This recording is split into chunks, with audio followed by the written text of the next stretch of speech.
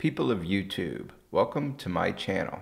I'm Aaron, a software startup CEO whose life is returning back to normal. I thought I would give an update on the status of my Tesla solar roof installation. If you'll remember on my last video, it appeared that Tesla had abandoned my roof since they've been here two days out of the past 17 days. During that 17 day period, I couldn't get my advisor on the phone, nor would he respond to emails. And when I would get a random advisor on the phone, no one could give me a date on when Tesla would return. So I made a video about Tesla abandoning the roof project and posted it on Reddit. The very next business day, as soon as the Tesla office opened, I got a call from my project advisor stating that they had watched the video and that they were taking action. You know, it's great that Tesla Solar monitors the Tesla Solar Reddit channel, and it also makes me worry about folks who are in similar positions who aren't going to make videos or post in the Tesla Solar Reddit. How do they get their jobs done?